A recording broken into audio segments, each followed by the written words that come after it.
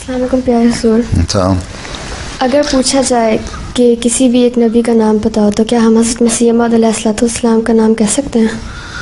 अगर ये पूछा जाए किसी शरी नबी का नाम बताओ तो फिर तो तुम जो उनके ऊपर शरीयत आई चाहते कि तुम्हें पता है उनका दो। अगर नबी का नाम बताओ तो तुम आ हज़रत वसल्लम का नाम बताओ जो सबसे बड़े नबी हैं जो ख़ातमबिया हैं जिनके अंदर सारे नबी आ जाते हैं उनका नाम क्यों ना बताओ? अगर तुमने पूछा है किसी एक नबी का नाम बताओ तो उनका हज़रत मोहम्मद रसूल सल्लल्लाहु अलैहि क्योंकि उन्हीं की बरक़ात से हज़रत मसीम को भी नबूवत का मुकाम मिला।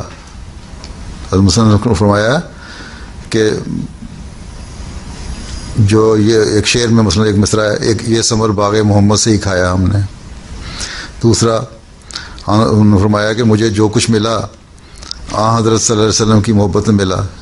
कहते हैं, एक दफ़ा, एक रात मैंने इतना दरूद पढ़ा, इतना दरूद शरीफ पढ़ा कि मैंने देखा नज़ारा कि आसमान पे फरिश्ते बड़े तेज़ी से एक दूसरे से बातें कर रहे हैं और एक शोर पहुँचा हुआ है कि तो फिर एक उनमें से कहता है कि इस वक्त जो कि नबूत का एजाज़ किसी को देना है ना तो इस शख्स को दे हाजर अजुन जो हिब्ब रसूल कि ये शख्स है जो अल्लाह ताला रसूल से मोहब्बत करता है।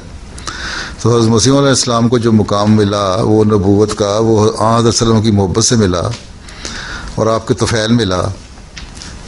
बाकी नबी जो हैं, उनको अल्लाह ताला ने ख़ुद अता किया। हज़रत मसीम को नबूत मिली आसलम के तफ़ैल तो अगर किसी एक नबी का नाम लेना है, जो जिसने पिछले नबी, नबियों पर भी मोर कर दी और आइंदा की नबूत भी उसी से शुरू होनी है तो उस नबूत उस नबी का नाम लो, वो नबी हज़रत सल्लल्लाहु अलैहि वसल्लम है। किसी और का क्यों लेती हो? जब एक का ही लेना है तो फिर आंसर सबसे बड़े नबी हैं। उनका लो। ठीक?